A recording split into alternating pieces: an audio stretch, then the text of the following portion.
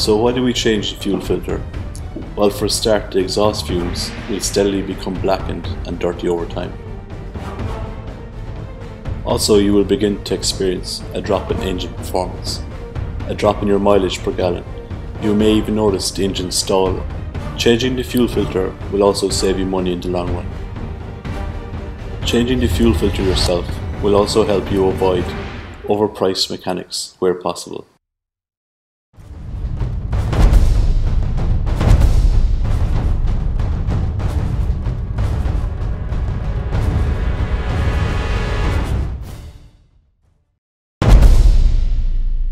Step 1 is to disconnect the control valve.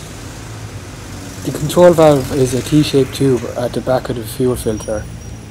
Remove the retaining clip and gently remove the valve from the bracket.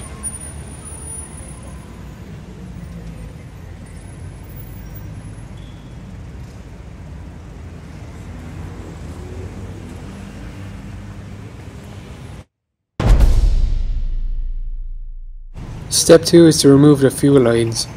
The fuel lines are connected to the fuel tank and the injector pump. The fuel lines are secured by a hose clip. To remove these, use a pliers or a screwdriver.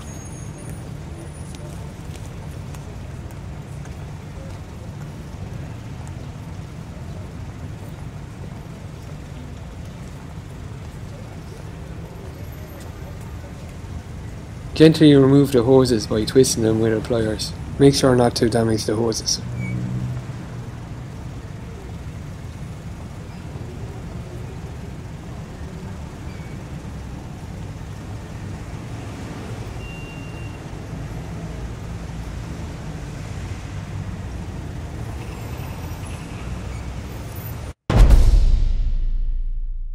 Step 3 is to remove the old fuel filter from the retaining clip.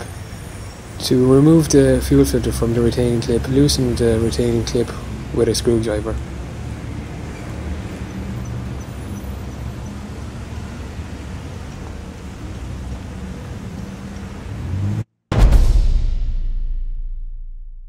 Fill the new fuel filter with diesel. This will prevent any airlocks entering the engine when starting up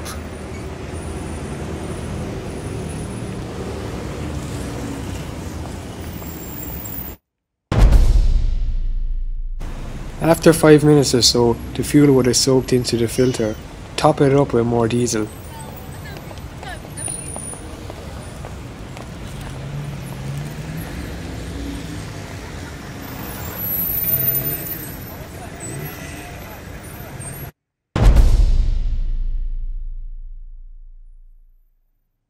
Here I'm removing the old O-rings from the control valve. Use pliers to disconnect them from the valve.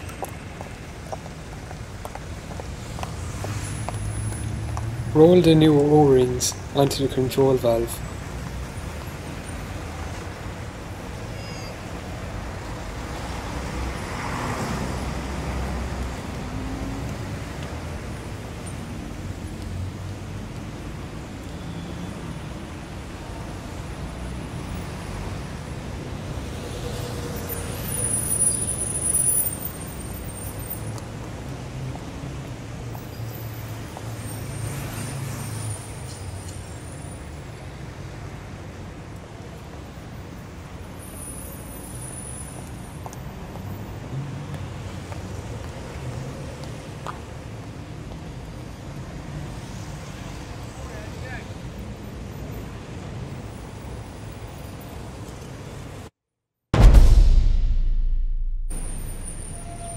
Secure the new fuel filter inside the bracket by tightening it up with a screwdriver.